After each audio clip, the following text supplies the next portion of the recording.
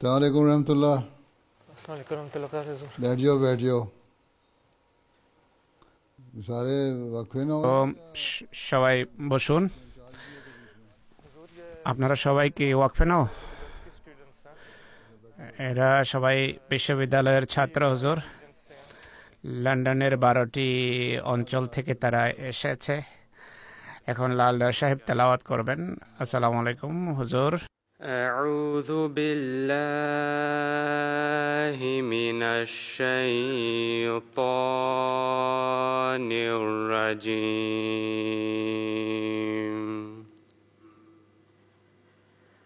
بسم الله الرحمن الرحيم.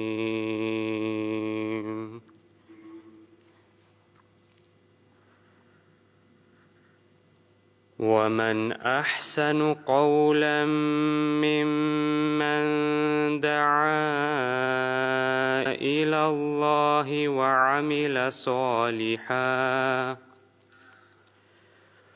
وعمل صالحا وقال إنني من المسلمين.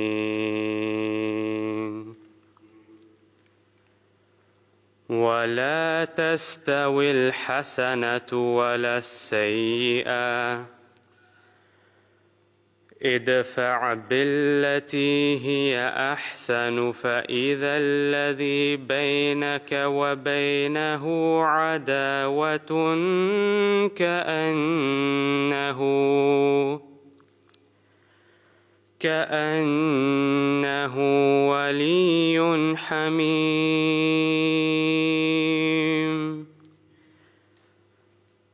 وما يلقاها إلا الذين صبروا. وما يلقاها يلقاها إلا ذو حظ عظيم. جزاك الله. جزاك الله. آه، مدسر زفري ترجمة.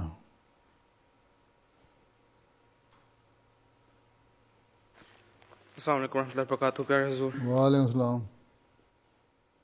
मैं पनाह मांगता हूँ अल्लाह की আমি বিতাড়িত শয়তান থেকে আল্লাহর আশ্রয় প্রার্থনা করছি আল্লাহর নামে যিনি অযাচিত দানকারী বারবার কৃপাকারী और बात कहने में उससे बेहतर আর কথায় সে ব্যক্তির চেয়ে উত্তম আর কি হতে পারে যে আল্লাহর দিকে মানুষকে ডাকে এবং নেক এবং সে নেক সৎকর্মশীল এবং বলে যে নিশ্চয় আমি পূর্ণ অনুগতদের অন্তর্ভুক্ত, ভালো এবং মন্দ সমান হতে পারে না। অতএব তুমি তা দ্বারা মন্দকে প্রতিহত করো যা সর্বোত্তম, ফলে সহসা ওই ব্যক্তি যার মধ্যে এবং তোমার মধ্যে শত্রুতা রয়েছে, তোমার অন্তরঙ্গ বন্ধুর ন্যায় হয়ে যাবে, কিন্তু এর অধিকারী কেবল তাদেরকে করা হয় যারা ধৈর্য ধারণ করে এবং এর অধিকারী করা হয় কেবল তাদেরকে যারা মহা সৌভাগ্যশালী। সুরাহামিম সাইজদা আয়াত হ্যাঁ, চৌত্রিশ থেকে ছয়ত্রিশ।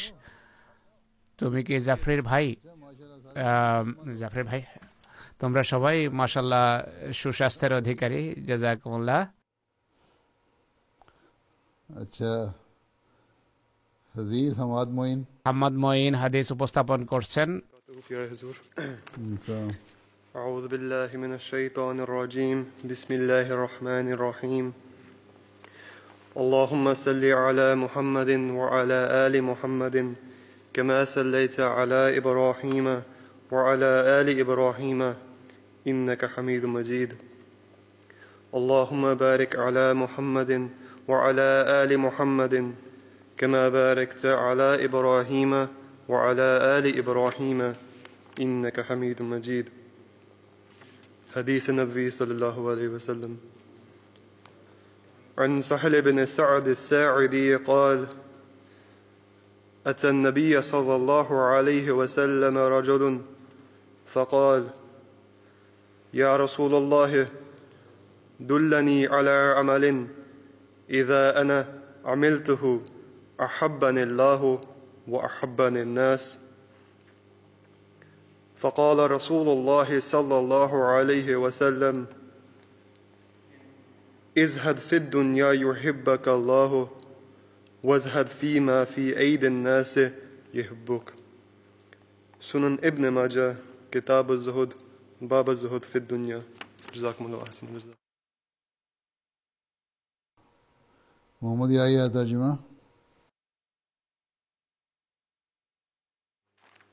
तर्जुमा अस्सलाम वालेकुम प्यारे हुजूर तर्जुमा हजरत साहल बिन साद হজরত সাহাল বিন সাদ সাদি রদিয়াল্লাহ বর্ণনা করেন মহানবী সাল্লাহ ইসলামের কাছে এক ব্যক্তি এসে বলল হে আল্লাহ রসুল সাল্লাহ আলাই সাল্লাম আমাকে এমন কোনো কর্মের কথা বলুন যা করলে খোদা আমাকে ভালোবাসবেন এবং মানুষও আমাকে ভালোবাসবে হুজুর সাল্লাহ আলাই সাল্লাম বলেন পৃথিবীর প্রতি বেতশ্রদ্ধ হয়ে যাও অনীহা বৃদ্ধি করো আল্লাহ তোমাকে ভালোবাসবেন আর মানুষের হাতে যা আছে তার প্রতি তুমি আম, লোভাতুর দৃষ্টিতে দেখবে না তাহলে আল্লাহ তোমাকে ভালোবাসবেন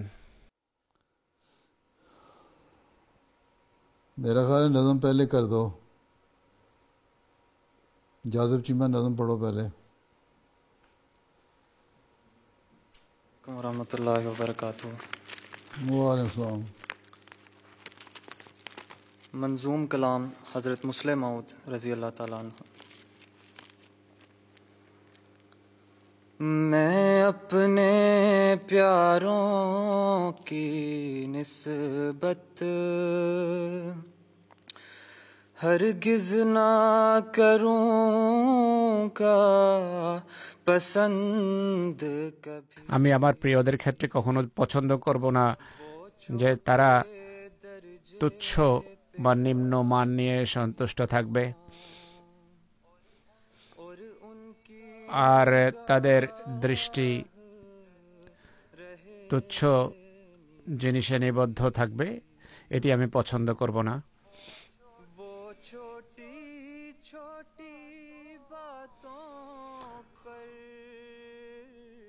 তারা তুচ্ছ বিষয়ে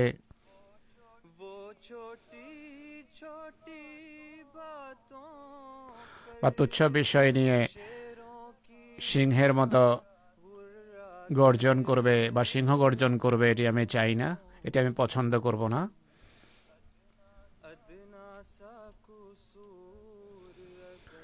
কারও সামান্য দোষ বা ত্রুটি দেখলে তারা খেপে যাবে, এটি আমি চাই না আমার প্রিয়দের ক্ষেত্রে। अदना सा कसूर अगर देखें तो मुँह में कफ भर लाते हों। वो छोटी छोटी चीज़ों पर वो छोटी छोटी चीजों पर उम्मीद लगाए তারা তুচ্ছ বিষয়ের আশা হৃদয়ে লালন করবে বা তুচ্ছ বিষয়ের আশা নিয়ে বসে থাকবে এটি আমি চাই না তারা তুচ্ছ বাসনা তুচ্ছ বাসনাকে নিজেদের লক্ষ্য নির্ধারণ করে বসে থাকবে এটিও আমার পছন্দ নয় वो अदना अदना ख्वाहिश को मकसूद बनाए बैठे हों मैं अपने प्यारों की निस्बत আমি আমার প্রিয়দের ক্ষেত্রে বা প্রিয়দের জন্য এটি কখনো পছন্দ করব না যে তারা নিম্নমানে বা অধপতিত পর্যায়ে থাকাকে পছন্দ করবে। তারা তুচ্ছ পদমর্যাদা নিয়ে সন্তুষ্ট থাকবে আর তাদের দৃষ্টি নিচে থাকবে, অধপতিত থাকবে, তুচ্ছ পর্যায়ে থাকবে, এটি আমি পছন্দ করি না। হুজুর জিজ্ঞেস করছেন যে এই অনুষ্ঠান কোথায় হচ্ছে इसका तर्जुमा मुसवरदीन English translation Assalamu alaikum wa rahmatullahi wa barakatuh, pyare Huzur. The following is the translation of a poem from Kalam Mahmud. I would never desire for my loved ones to remain satisfied with the lowest of titles for temporal gains, and that their gazes are fixated on lowly aspirations, and that they roar like lions in rage on witnessing the minutest of errors in others. They respond by drooling with a yearning for revenge. Their desires revolve around lesser goals, and their labors are, are aimed for minor purposes. Jazakallah. Raheel Bhatt साहब फरमुदात मसीह मौद Assalamu alaikum warahmatullahi प्यारे हुजूर वालेकुम सलाम रहमतुल्लाह अऊज़ु बिल्लाहि मिनश शैतानिर रजीम बिस्मिल्लाहिर रहमानिर रहीम फरमुदात सैयद হজরত মসিহ মহদের মলফুজাত পড়ে শোনানো হবে এখন माऊद अलैहिस्सलातु वस्सलाम फरमाते हैं হজরত মসিহ মহদ আলাইসাল্লাম বলেন আ- আমি যেহেতু অভিজ্ঞতা রাখি আর অভিজ্ঞতা করেছি আর ওয়াকফের জন্য জীবন উৎসর্গ করার জন্য আল্লাহ তালা আমার মাঝে সেই প্রেরণা, সেই চেতনা সৃষ্টি করেছেন যে যদি আমি এটি বলা হয় যে এই ওয়াকফে কোনো পুণ্য নেই, কোনো লাভ নেই, বরং কষ্ট হবে আর দুঃখ পাবে, তবুও ইসলাম সেবা থেকে আমি বিরত হতে পারি না। তাই আমি আমার জামাতকে ওসিয়ত করা আবশ্যক মনে করি আর এই কথা পৌঁছানো, তাদেরকে এই কথা পৌঁছানো আবশ্যক মনে করি। বাকি এটি শোনা না শোনা তাদের বিষয়। যদি কেউ পরিত্রাণ চায় আর চিরস্থায়ী জীবনের সন্ধানী হয়ে থাকে, তার উচিত আল্লাহর জন্য জীবন উৎসর্গ করা। আর সবারই পদমর্যাদা লাভের চেষ্টায় রত হওয়া উচিত যেন সেই পদমর্যাদা অর্জন করতে পারে এবং বলতে পারে যে, আমার জীবন, আমার মৃত্যু, আমার ত্যাগ, শিকার, আমার কোরবানি, আমার ইবাদত, আমার নামাজ একমাত্র আল্লাহ তালার জন্য। আর হজরত ইব্রাহিমের মতো তার আত্মা যেন শত প্রবৃত্ত হয়ে বলতে পারে যে আসলাম তোলাবিল আলমেন মানুষ যতক্ষণ খোদার সত্তায় বিলীন না হয়, খোদার সত্তায় আত্মোৎসর্গ না করে, সে চিরস্থায়ী জীবন লাভ করতে পারে না। অতএব তোমরা যারা আমার সাথে সম্পর্ক রাখো, তোমরা জানো যে খোদার জন্য জীবন শুরু করা আমি জীবনের মূল উদ্দেশ্য মনে করি। এখন তোমরা নিজেরা দেখো, চিন্তা করো যে তোমাদের কয়জন আমার এই কাজকে নিজেদের জন্য পছন্দ করে এবং আল্লাহর জন্য জীবন উৎসর্গ করাকে পছন্দনীয় বিষয় জ্ঞান করে। মলফুজাত থেকে এটি পাঠ করে শোনানো হয়েছে। এরপর কি আছে? এরপর যা রয়েছে আইটেমটার নাম হলো খদ্দামাল আহমদিয়ার জীবনের প্রিয় মুহূর্ত। এটি কি দেখাবে?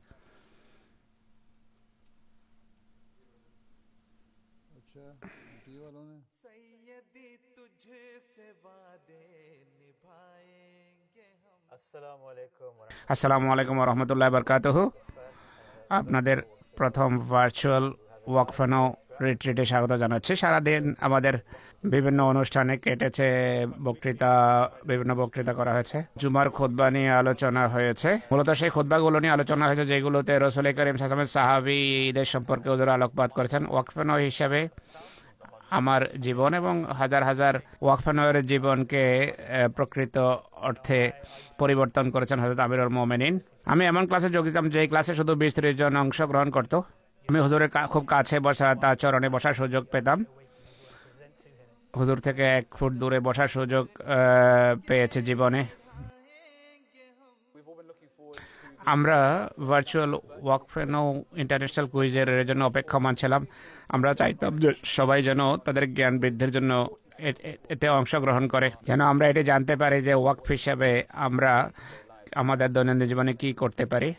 আমি ওয়াকফে জিন্দিগি হিসাবে এমটিএতে কাজ করছিলাম গত দুই বছর ধরে।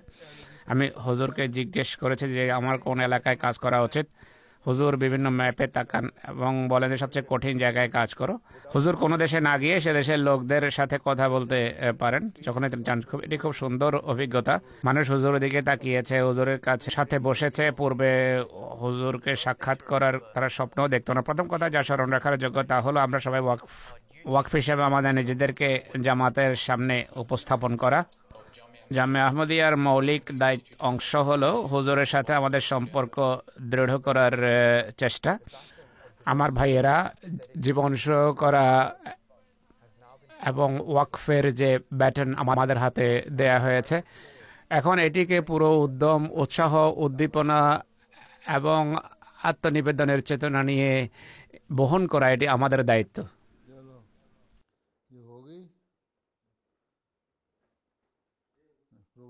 चंद लम्हात पेश हो अब क्या करना है এখন কি হুজুর জিজ্ঞেস করছেন वक्फी ने नो ওয়াকফেনেও আর কি আছে আপনারা কি চান আমার কাছে একজনকে হুজুর বলছেন যে দাঁড়াও কে হাত আহ, উঁচিয়েছে माइक्रोफोन पे आओ वालेकुम हजूर मेरे दो सवाल है अगर आपकी इजाज़त से मैं इंग्लिश में पू- पूछ सकता हूँ হুজুর ওয়াকফেনাও মেডিকেলের ছাত্ররা স্কুলে সর্বোত্তম ডাক্তার হওয়ার জন্য কি করতে পারে বা কি করা উচিত? হুজুর বলছেন মেডিকেলের ছাত্রদের এমনিতেই পড়াশোনা করা উচিত ওয়াকফেনো হোক বা না হোক অনেক বেশি পড়াশোনা করা উচিত। পড়াশোনা না করলে ডিগ্রি পাবে না পাশ করবে না। তাই মেডিকেলের ছাত্র হোক চিকিৎসার ক্ষেত্রে হোক বা যেই ক্ষেত্রেই হোক না কেন, গভীরভাবে মনোযোগ নিবদ্ধ করো, নিজেদের পড়াশোনায় মনোযোগ দাও আর দোয়ার প্রতিবেশী মনোযোগ নিবদ্ধ করো, আল্লাহর সাথে সম্পর্ক দৃঢ় করো, নিজেদের পাঁচ বেলার নামাজ যথাসময়ে পড়ো, এক নাস্তিক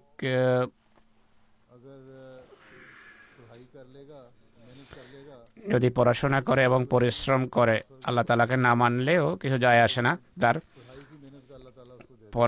পড়ার জন্য যে পরিশ্রম করেছে এই পুরস্কার তো সে পাবে। কিন্তু এক মুসলমান, একজন আহমদি, সেই, সে একই সাথে দাবিও করে যে, আমি ইসলামকে মানি, আল্লাহ তালায় আমার বিশ্বাস আছে, আর দৃঢ় বিশ্বাস রাখি যে, আল্লাহ তালা আমাকে সাহায্য করেন। এমন আহমদের উচিত পড়ার পাশাপাশি এটি প্রমাণ করা যে, আল্লাহর সাথে আমার সম্পর্ক আছে। তাই এক আহমদির পরিশ্রমের পাশাপাশি যদি দোয়াও থাকে, তাহলে সে ভালো সাফল্য লাভ করবে। এটি মনে করো না যে নাস্তিক সাফল্য অর্জন করেছে, আমারও সাফল্য অর্জিত হওয়া উচিত। উভয়ের ভিতর পার্থক্য আছে। পার্থক্য বুঝতে হবে পার্থক্য বড় সূক্ষ্ম, এটি স্মরণ রাখতে হবে। যদি এটি স্মরণ রাখো, তাহলে আল্লাহর সাথে সম্পর্ক স্থাপন করবে আর পড়ার প্রতি মনোযোগ যদি নিবদ্ধ যদি করো, তাহলে তোমরা লক্ষ্য অর্জন করতে পারবে। ওয়াকফেনো ডাক্তার হিসাবে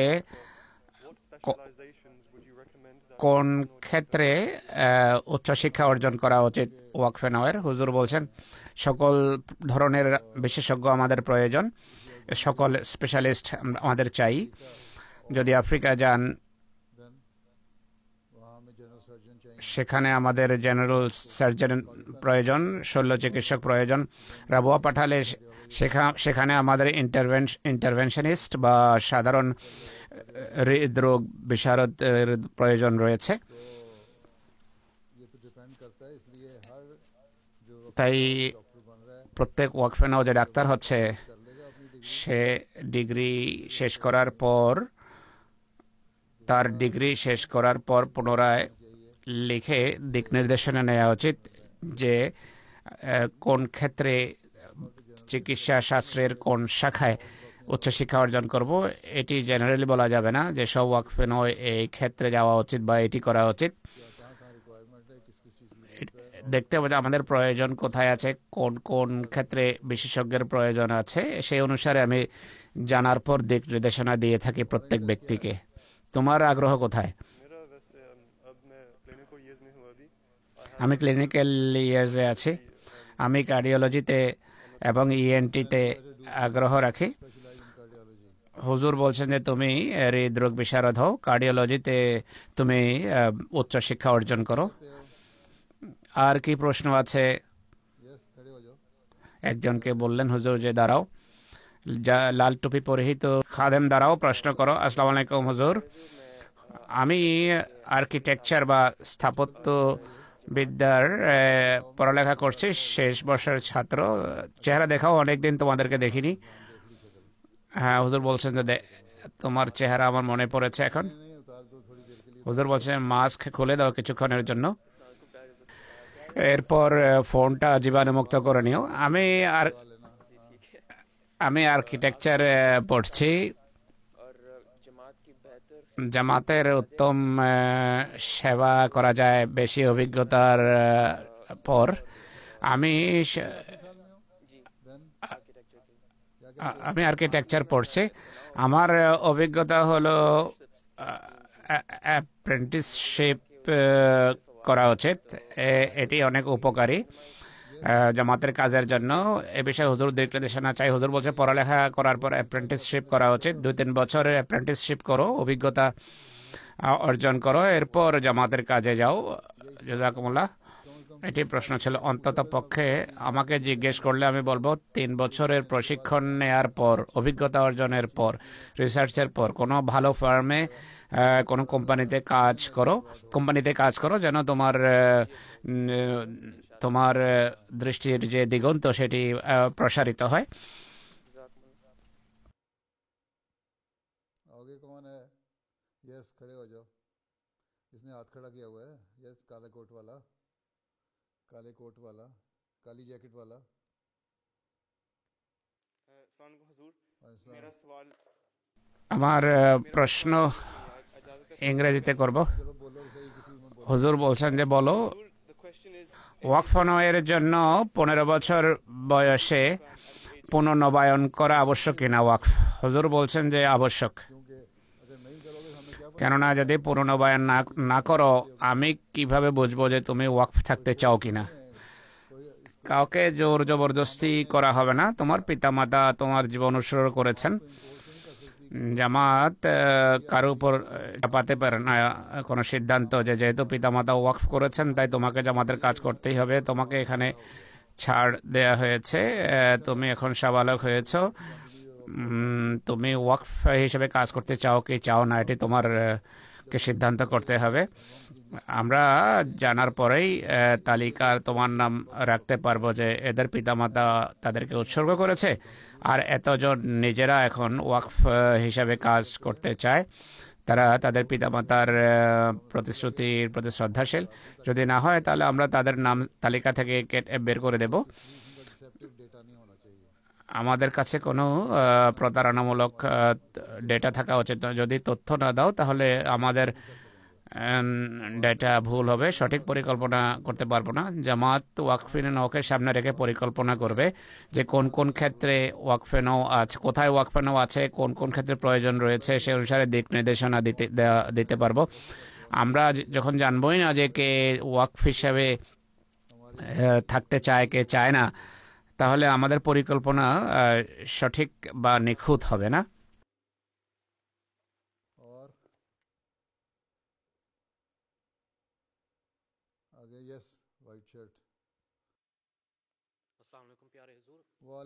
সালাম আলাইকুম, হজুর।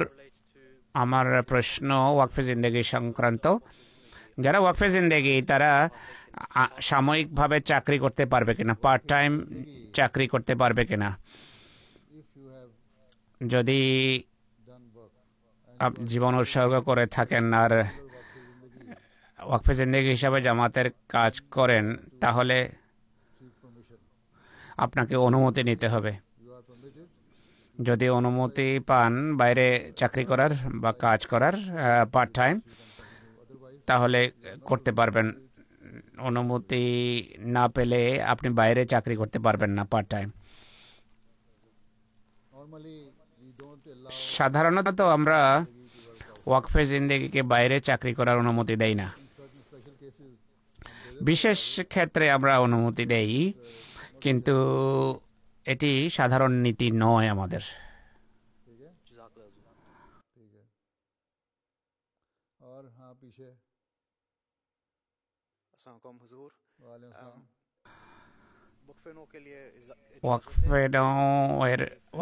কি ব্যবসা করতে পারে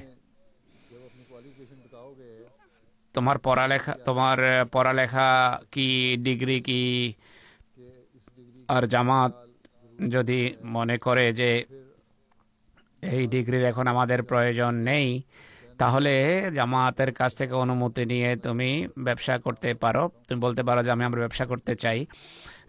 এমন ক্ষেত্রে অনুমতি দেওয়া। তুমি কি পড়ালেখা করছ? আমি অঙ্কশাস্ত্র পড়ছি। অঙ্ক পরে কি ব্যবসা করবে? হুজুর বলছেন তুমি টিচারই হতে পারবে। অঙ্কশাস্ত্র পড়ে, গণিত পড়ে তুমি শিক্ষকই হতে পারবে। আমি এখনও সিদ্ধান্ত করিনি কি করব। হুজুর বলছেন, প্রথমে পড়ালেখা করো। পড়ালেখা শেষ হওয়ার পর ব্যবসায় যদি আগ্রহ থাকে, তাহলে আমাকে লিখো যে আমার ব্যবসা, ব্যবসার প্রতি ঝোঁক আছে, আমাকে অনুমতি দিন। আর এটি দেখবে, ব্যবসার জন্য টাকা পয়সা থাকা উচিত। এমন নয় যে ব্যাংক থেকে ঋণ নেবে আর পুরো টাকা নষ্ট হবে, এরপর দেউলিয়া হয়ে যাবে, সারা জীবন ঋণ পরিশোধ লাগিয়ে দেবে। ব্যবসা যদি করতে হয়, ব্যবসার জন্য তোমার যোগ্যতাও থাকা উচিত।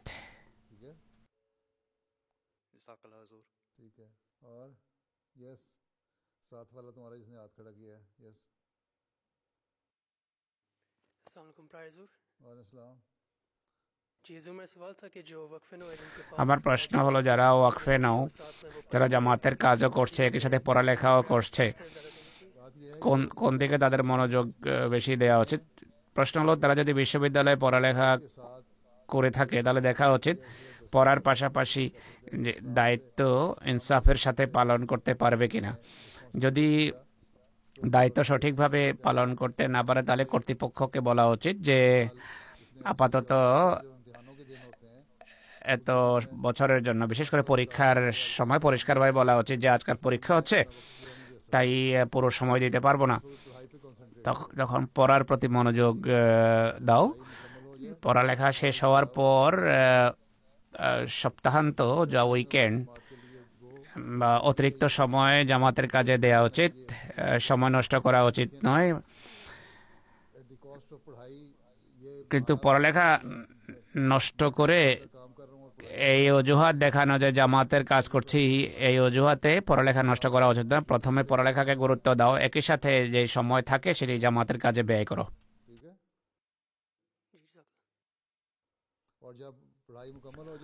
পড়ালেখা শেষ হওয়ার পর লেখা যে আমি এখন জীবন উৎসর্গ করার জন্য প্রস্তুত। আমি জামাতকে পুরো সময় দিতে চাই। আর কোনো লোভ লিপসা ছাড়াই লোভ লিপসার ঊর্ধ্বে থেকে নিজের ওয়াকফের প্রতি শ্রদ্ধাশীল হও আর ওয়াকফের প্রতি বিশ্বস্ততা যে রয়েছে সেটি রক্ষা করো। যে হাত উঠায় সে যেন দাঁড়িয়েও যায়। ওয়াকফেনো হিসাবে গ্র্যাজুয়েট করার পর বিশ্ববিদ্যালয় থেকে গ্র্যাজুয়েট করার পর জামাতের ফুল টাইম কাজ করা উচিত নাকি আংশিকভাবে সময় দিলে হবে। হুজুর বলছে, তুমি কি পড়ছো? সে বলল যে, আমি অর্থনীতি পড়ছি। অর্থনীতি ডিগ্রি করার পর আমাকে লিখবে, কেন্দ্রকে লিখবে, যে আমি পড়ালেখা শেষ করেছি। আমার কি, আমি কি লেখো যে, আমি কি আমি কি বাইরে চাকরি করতে পারি নাকি জামাত আমাকে কাজে লাগাতে চায়? এটি জামাত সিদ্ধান্ত করবে। যদি তোমার ডিগ্রির জামাতের কোনো প্রয়োজন থাকে তাহলে জামাত বলবে যে, ঠিক আছে, তুমি তুমি ওয়াকফেনো হিসাবে পুরো সময় জামাতের কাজ করো। আর যদি জামাতের প্রয়োজন না থাকে, তখন বলবে যে, তুমি বাইরে চাকরি করতে পারো, কিন্তু তোমার উইকেন্ডস এবং অতিরিক্ত সময় সেটি জামাতের কাজে ব্যয় করো। তবলিগি কাজের জন্য সময় দাও, খোদামল আহমদিয়াকে সময় দাও বা জামাতের অন্যান্য কাজের জন্য সময় দেওয়া উচিত। ঠিক আছে? জামাত সিদ্ধান্ত করবে এটি, যে আপনার কাজের প্রয়োজন আছে কিনা জামাতের। আপনার বিশেষ ক্ষেত্রে যে সাবজেক্টে আপনি পড়ালেখা করেছেন, সেই সাবজেক্টে জাজাকুমুল্লাহ, যখনই ওয়াকফেনয়ের পড়ালেখা শেষ হয়, তার উচিত জামাতকে লেখা যে, আমার পড়ালেখা পড়ালেখা শেষ করেছি। এখন আমার জন্য কি দিক নির্দেশনা? আর সে অনুসারে সে দিক নির্দেশনা পাবে। কেননা শতকরা আশি ভাগ ওয়াকফে নকে আমরা আপাতত এটি বলছি যে নিজের চাকরি করো বা নিজের পড়ালেখা অব্যাহত রাখো বা চাকরি করো। আর তোমার যেই অতিরিক্ত সময় থাকে, বিশেষ করে সপ্তাহান্তের যে সময় তোমার হাতে থাকে সে আমাদের কাজে ব্যয় করো। ওয়াকফে ওরা যদি বাইরে চাকরিও করে বা ব্যবসায় যায় তা সত্ত্বেও সাধারণ খোদ্দাম এবং সাধারণ জামাতের সাধারণ সদস্য থেকে বেশি সময় দেওয়া হচ্ছে তাদের জামাতের কাজের জন্য। খোদ্দামুল আহমদিয়াকে বা জামাতকে?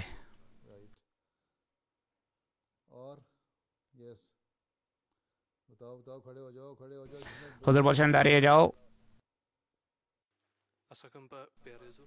আসসালামু আলাইকুম হুজুর। বিশ্ববিদ্যালয়ের ছাত্র হিসাবে যাদেরকে স্ব ফিল্ডে চাকরি খুঁজতে হয়। মহামারীর যুগে বিশেষ করে যারা গ্র্যাজুয়েশন করেছে, অনেক সমস্যায় আছে, কোনো বিশেষ দোয়া আছে কিনা বা কোনো বিশেষ পরামর্শ আছে কিনা তাদের জন্য। হুজুর বলছে, পাঁচ বেলার নামাজ পড়ো। পাঁচ বেলার নামাজ পড়ো, সেজদায় দোয়া করো। আল্লাহ তালা যেন আমাদের জন্য সহজ সাধ্য করেন। এছাড়া অন্য কোনো দোয়া নেই। সবচেয়ে বড় দোয়া হলো পাঁচ বেলার নামাজ। আল্লাহ তালা এটি বলেননি যে অমুক দোয়া করলে আমি খুব গ্রহণ করব। আল্লাহ বলছে, পাঁচ বেলার নামাজ পড়ো, নিজের ফরজ অবশ্য অবশ্য কর্তব্য পালন করো, আর সেই নামাজে দোয়া করো, আমি গ্রহণ করো বাকি পৃথিবীর বর্তমান অবস্থা বা অর্থনৈতিক অবস্থা যা বিরাজমান, সর্বত্রই সংকট বিরাজমান। চাকরির বাজারেও সমস্যা এবং সংকট রয়েছে।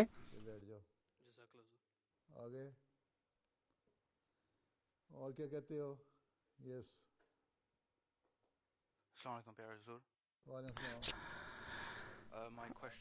আমার প্রশ্ন স্যাক্রিফাইস বা কোরবানি সংক্রান্ত ওয়াকফেন হিসাবে আমাদের কি কোরবানি করা উচিত আহ, জামাতের জন্য? আমরা কীভাবে নিশ্চিত হতে পারি যে আল্লাহ আমাদের কোরবানি গ্রহণ করবেন? হুজুর বলছেন তুমি কি পড়ালেখা করছ? আমি ইংরেজি সাহিত্য পড়ছি। হুজুর বলছেন মাশাল্লাহ তুমি কি এখানে জন্মগ্রহণ করেছ?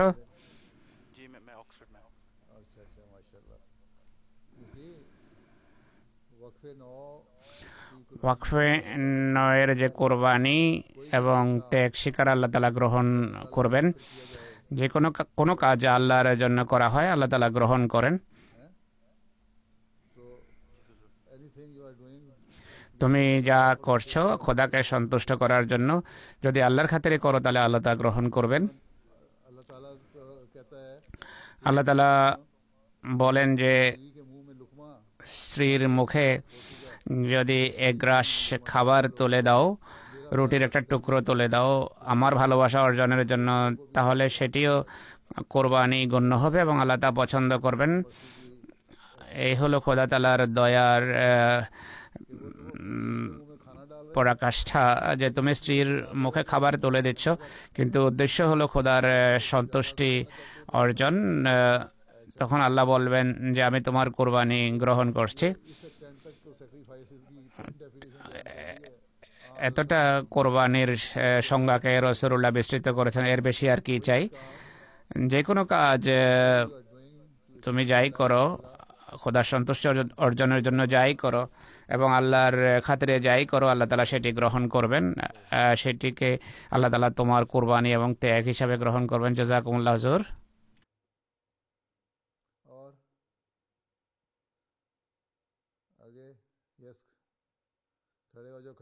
करना है सवाल प्यारे हुजूर अ, चंद वाक्फ যে প্রশ্ন করতে চায় আহ, সে দা- তার দাঁড়ানো উচিত কয়েকজন ওয়াকফিনও বলছেন যে হুজুর পূর্বে বলেছিলেন যে ওয়াকফিনকে সিভিল সার্ভিসে যাওয়া উচিত তারা জিজ্ঞেস করছেন যে এর অর্থ কি এ, পুলিশে যাবে না আর্মিতে যাবে না আহ, সরকারি বিভিন্ন বিভাগে যাবে হুজুর বলছেন যে এটি জানে না যে সিভিল সার্ভিস কি সে যাবে কোথায় তোমাদের দিক নির্দেশনা দেওয়া উচিত। ওয়াকফেনও বিভাগে যারা বসে আছে, ইনচার্জ সেজে বসে আছে, মৌলানা সাহেব, আপনাদের বলা উচিত সিভিল সার্ভিসের অর্থ হলো পাবলিক সার্ভিস স্থানীয় কাউন্সিল অফিস থেকে আরম্ভ করে প্রধানমন্ত্রীর সেক্রেটারিয়েট পর্যন্ত যত অফিস আছে, সেগুলো সবই পাবলিক সার্ভিসের অন্তর্ভুক্ত। সেনাবাহিনীটাও সেনাবাহিনীতেও মানুষ যেতে পারে, নৌবাহিনীতেও যেতে পারে। কিন্তু আমি এর জন্য বলিনি পাবলিক সার্ভিসে যাওয়ার অর্থ হলো, আপনি বেশি বেশি রাজনীতিবিদদের সাথে আপনার জানাশোনার সুযোগ বাড়ে। আর দেশীয় নীতি সম্পর্কেও, রাজনীতি সম্পর্কেও আপনি অবগত হতে পারেন। এভাবে জামাতেরও কাজে আসতে পারেন, আহমদীদেরও কাজে আসতে পারেন। একজন মেধাবী সরকারি চাকরকে অ্যাডভাইজার হিসাবেও নেওয়া হয়। আর সে দেশের কল্যাণের জন্য ইনসাফের ভিত্তিতে তার বসকে দিক নির্দেশনা দিতে পারে। আর সততার সাথে সে কাজ করতে পারে, ইনসাফ করতে পারে, যে যে ক্ষেত্রে ত্রুটি আছে, সে সেই ক্ষেত্রে সে ইনসাফের ভিত্তিতে কাজ করতে পারে। এই কারণে আমি বলেছি যে পাবলিক সার্ভিসে জব কাউন্সিল থেকে আরম্ভ করে প্রধানমন্ত্রীর অফিস পর্যন্ত, যেখানে যেই জায়গায় পারো, যার ভিতর যে মেধা আছে, সেই অনুসারে সে চাকরি পাবে। এই কথা আমি বলেছিলাম। বাকি আর্মি এবং পুলিশে যদি যেতে হয়, যাও। পুলিশ বিভাগেও যেতে পারো। আইন প্রণয়নকারী এজেন্সির সাথে হাতে হাত রেখে কাজ করা খুবই গুরুত্বপূর্ণ। ঠিক আছে? পাবলিক সার্ভিসের অর্থ হলো সিভিল সার্ভিস সিভিল সার্ভিস আর পাবলিক সার্ভিস একই জিনিস।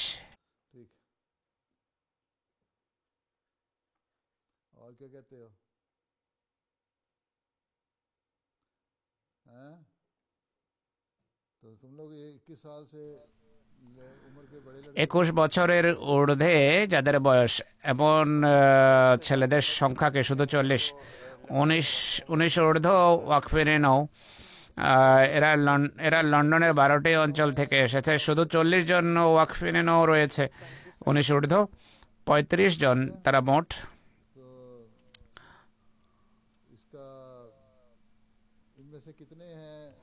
এদের কয়জন কয়জন চিকিৎসা শাস্ত্র পড়ছে? হামাদ ছাড়া আর কে আছে? তোমার নাম কি, হামাদ? সেও চিকিৎসাশাস্ত্র পড়ছে, এই চশমা পরিহিত খাদেমটিকে। তোমার আমার নাম হলো জাফরি তুমি কি পড়ছো? আমি পেডিয়াট্রিক পড়তে চাই, কিন্তু হুজুর যা বলবেন তাই করব। হুজুর বলছেন পেডিয়াট্রিক্সই পড়ো তুমি। তোমার কি শিশু ভালো লাগে? সে বলো যে যেই ভালো লাগে, তাদের সাথে খেলা যায়। শিশুদের প্রতি ভালোবাসা থাকলে ডাক্তার তাদের সেবা করতে পারে।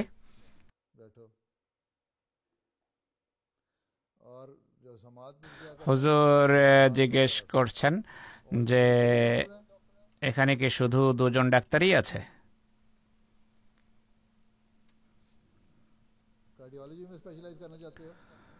তুমি কি এই হৃদরোগ বিশেষজ্ঞ হতে চাও? সে বলো যে জি। তুমি সাধারণ কার্ডিওলজিস্ট হতে চাও নাকি কনভেনশনাল আপনি যা বলবেন তাই করব। এখন আমি ততটা জানি না। আমি এখন চতুর্থ বর্ষে রয়েছে ওজুর বছর প্রথমে জ্ঞান অর্জন করো। পঞ্চম বর্ষে যখন যাবে, যখন ফাইনাল করবে, তখন আমাকে বলো। তখন জানাবে যে সাধারণ কার্ডিওলজি পড়তে চাও নাকি অন্য শাখায় যেতে চাও কার্ডিওলজির বলল ঠিক আছে। কে কে ইঞ্জিনিয়ারিং পড়ছে? দাঁড়াও তোমরা।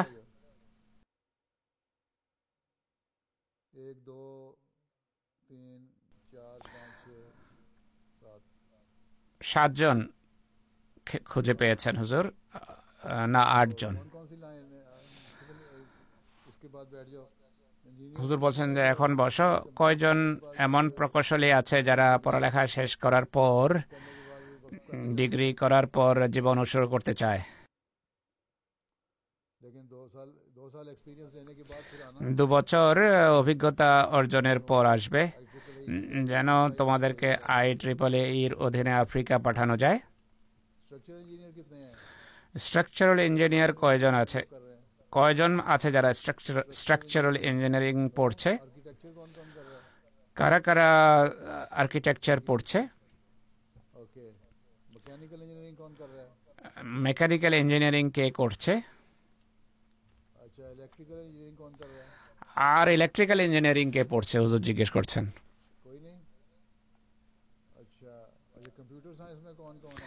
কম্পিউটার সায়েন্সে কারা কারা রয়েছে?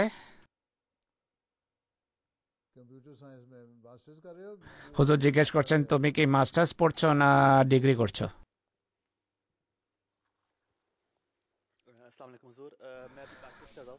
আমি কম্পিউটার সায়েন্সে প্র্যাকটিস করছি।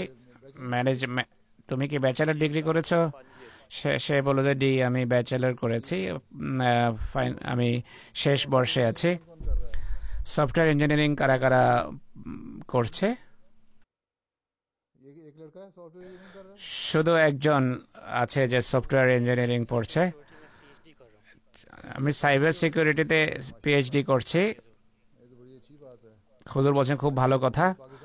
আজকাল পাকিস্তানে সাইবার সিকিউরিটি আমাদের পিছু ধাওয়া করছে জামাতের। তারা বলে এমটি শুনলে সাইবার সিকিউরিটি ওরা এসে যায়।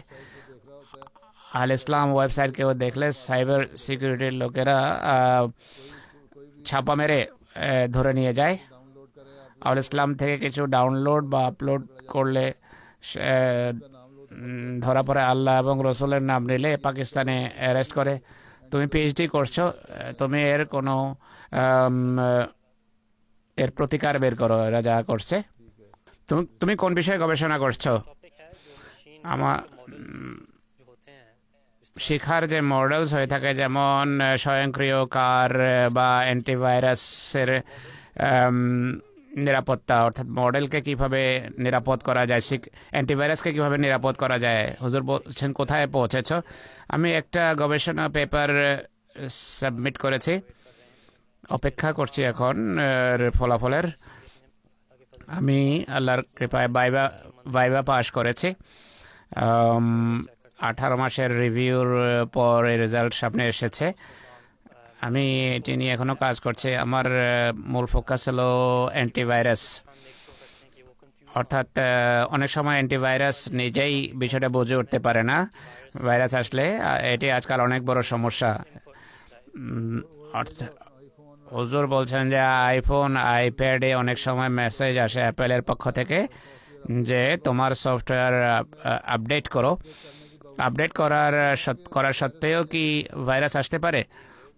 আসতে পারে এই আশঙ্কা আছে। বিশেষ করে মালওয়্যার হুজুর বলছেন আপডেট করার পর কতটা আশঙ্কা থাকে ভাইরাস আসার? কত, শতকরা কত ভাগ আশঙ্কা থাকে? হুজুর বলছেন কোনো বিশেষ একশো ভাগ সিকিউরিটি কখনো নেই। সবসময় সমস্যা থাকে। এটি- কোনো ডেটাকে সংগ্রহ করেনি। আমি যতটা জানি, এর ততটা ডেটা নেই। সব কিছুর ইনফরমেশান আসে যে এই ডেটা এসেছে। এই ইনফরমেশান বা এই তথ্য তথ্য উপাত্ত তারা কি এখনও সংগ্রহ করেনি যে আপডেট করার পরও শতকরা কত ভাগ আশঙ্কা থাকে ভাইরাস আসার? আমি কোথাও পড়িনি।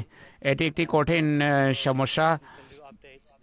আপনি আপডেট আপডেট করলেও নতুন নতুন সমস্যার সামনে আসতে থাকে। বা আহমদি আলেমের উচিত এগুলো সমাধান করা। হুজুর বলছেন, তুমি সমাধান করো, কিছুটা কাজ করো। কাজ করো আর আমাকে জানাও। আমি করব ইনশাল্লাহ আপনাকে জানাবো বসো হুজুর বলছেন और और क्या कहते हो कुछ नहीं वक्फी ने हो बिल्कुल सुमन बुकमन हो अच्छा हाँ खड़े हो जाओ হুজুর ওয়াকফিরিন এক দাউদ আহমদ খানকে হুজুর বলছেন সালাম আলাইকুম হুজুর अस्सलाम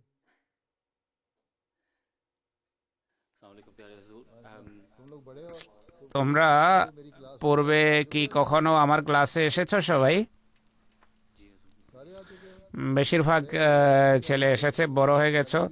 তোমরা বড় সুন্দর দাঁড়িয়ে রেখেছো সবাই, বড় হয়ে গেছো। হয়তো আমি চিনতে পারছি না এই কারণে।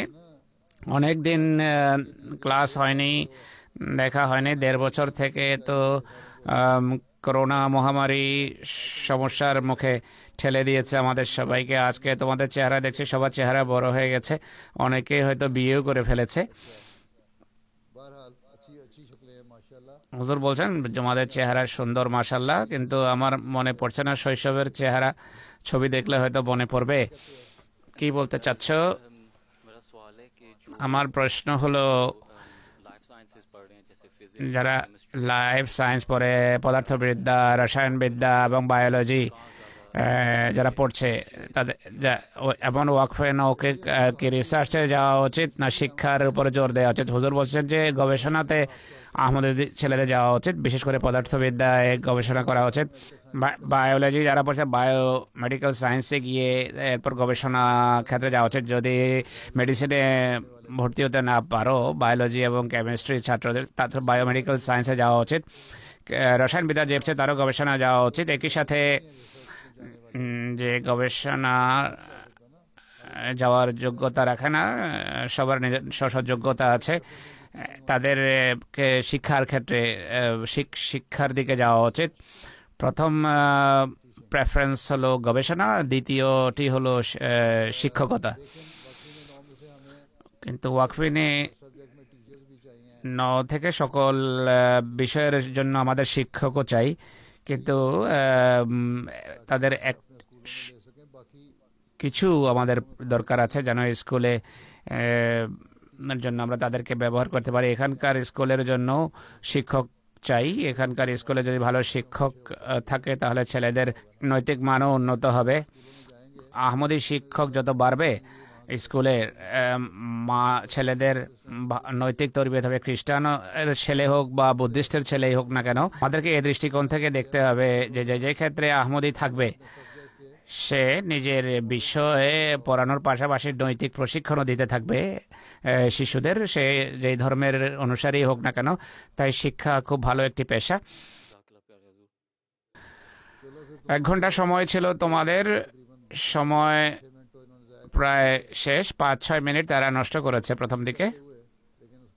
কানেকশানে কিন্তু তা সত্ত্বেও অনেক সময় তোমাদেরকে দেয়া হয়েছে। আল্লাহ তালা তোমাদের সুরক্ষা করুন। আল্লাহ হাফেজ নাসের হন। আসসালামু আলাইকুম রহমতুল্লাহ বরকাতহ।